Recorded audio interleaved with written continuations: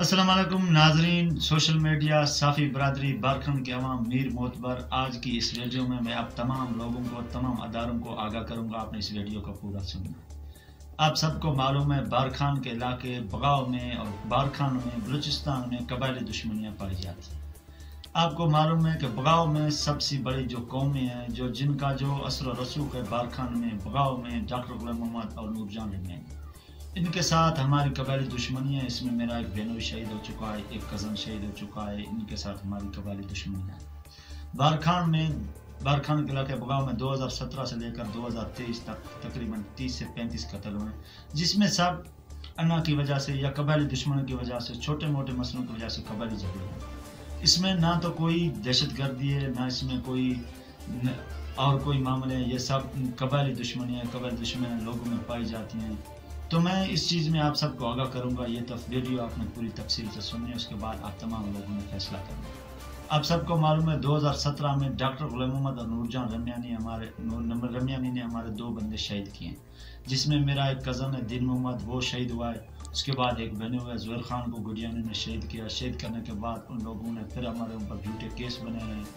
और जहर खान की कबर कुशाई तीन महीने के बाद हुई, उसके बाद हाई कोर्ट बलूचिस्तान में केस रहा। ये दोनों पैसे वाले लोग हैं, इनका असर रसूख है। इंतज़ामिया से लोगों से ये झूठे केस बनाते हैं।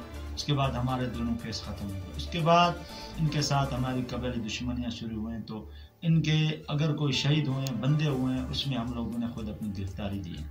आप सबको मालूम है, आज से तीन से चार साल पहले शेर मोहम्मद मरी ने हमारे घर पे रेड किया था, जिसके बाद आपको मालूम है इन्हें राकल लांचर फैर किए थे, कोई बंदे को गिरफ़्तार नहीं किया। उसके बाद आप सब जानते हैं कि बाज़ मुलान जिसको सोशल मीडिया पे मुखालफिन ने बड़ी तादाद में इश्तारी करार दिया। काफ़ी झूठे केस बनाए, कंपेन चलाई तो बाज़ मुला और उनके चार साथियों ने खुद अपनी गिरफ्तारी जाके अदालत, सीशन जज रखने की अदालत में खुद गिरफ्तारी दी उनके बाद उन पर झूठे केस रहे तो उन्होंने अदालत का सामना किया। हमारे काफ़ी बंदे, जिनमें तमाम लोग खुद अदालत में पेश हुए जिसके बाद मेरे ऊपर उनके झूठे केस बाकी रहे। तो बाज़ मुला का केस चलता रहा उनके तमाम केसेस में तीन से चार कत्लों में उनके ऊपर एफआईआर बनाए गए थे, वो तमाम में बरी हुआ। एक केस में उनको झूठे केस में पच्चीस साल कैद में उनके बाद उनका केस तकरीबन डेढ़ साल से हाईकोर्ट बलूचिस्तान में चल रहा है। हम उम्मीद करते हैं कि इन वो भी जल्द ख़त्म हो जाएगा। उसके बाद आप सबको मालूम है कि डॉक्टर गुलाम मोहम्मद पूरी आवाम को, पूरी अदारों को, पूरी बारखान की आवाम को मालूम है कि ये बी एल ए का एजेंट है। इसने काफ़ी कैंपेनें चलाई हैं। नौजवानों में इसने बी एल ए का तासर दिया ये खुद भी एक तंजीमों का है। बंदा है, ये इसको सब बी एल ए की सपोर्ट है। तमाम अदारों को, बारखान की आवाम को, पाकिस्तान के माशाल्लाह बहुत बड़े अदारे हैं। उनको हर चीज़ का इलम है। बारखान की आवाम का। इसमें कर्नल साहब बैठे हैं आई जी बैठे हैं एफ़ सी बैठी है, तमाम अदारे बैठे हैं एम आई बैठी है आई एस आई बैठी है। उन सबको मालूम है कि बारखान की कबैली दुश्मनियाँ लोगों में कबैली दुश्मनियाँ पाई जाती हैं।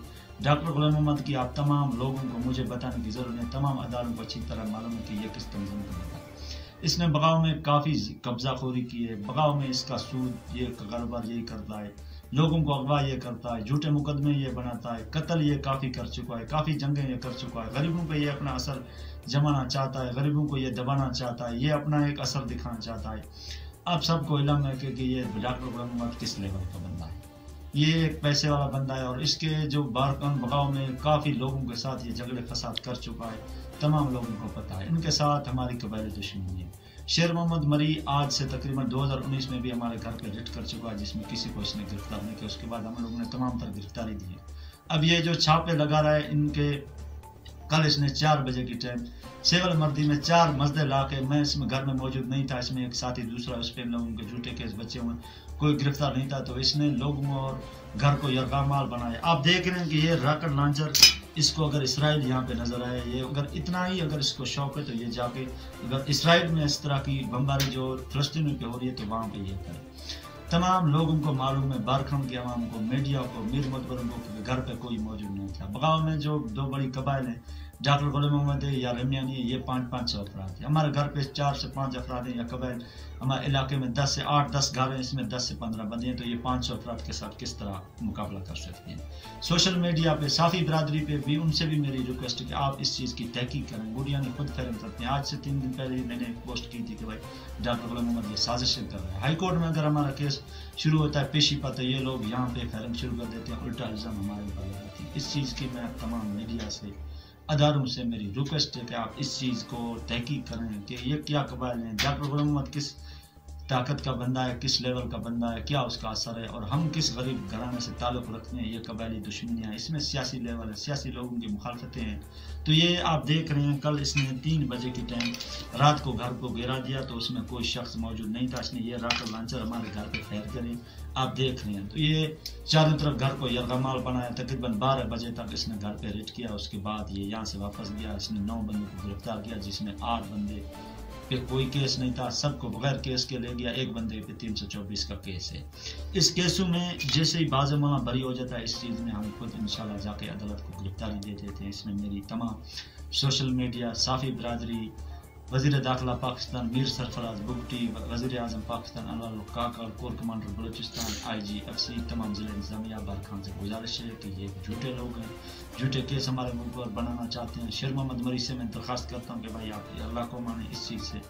हम लोगों को बचाएँ, हम खुद इंशाल्लाह अपनी गिरफ्तारी दे देंगे। और मैं ये चीज़ आप वीडियो में आप सबको आज से ये वीडियो में मैं बता रहा हूँ। अगर इसी छापे के दौरान मुझे कत्ल करने की कोशिश की गई तो इस चीज़ का जिम्मेदार शेर मोहम्मद मरी होगा। ये खुद इन लोगों के साथ मिला हुआ है। शेर मोहम्मद मरी का अपना बंदा है। ये छापे के दौरान हमें मुकाबले में मारना चाहता है हमें कत्ल करना चाहता है। हम इस चीज़ से, हुकूमत से, इंतज़ामिया से, वज़ीर दाखिला से, तमाम बारखान की जो इंतजामिया उनसे गुजारिश करते हैं कि खुदारा घर पे कोई मौजूद नहीं है और तुम बच्चों पे राख लांजर फैर किए जा रहे हैं। तीन तीन घंटे बच्चों को यरमाल बनाया जा रहा है।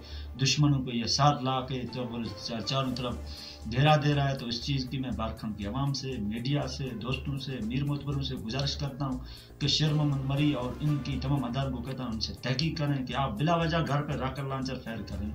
इस दारी मुजरम अगर कोई है, अगर किसी पर केस है जिस तरह तो आप अगर कानून आपको इजाज़त देता है, उसी तरह आप गिरफ़्तार करें, इस चीज़ पे हमें तहकीक करें, अल्लाह को माने, खुदा को माने, खुदा का खौफ करें यहाँ कोई दहशत गर्द नहीं है।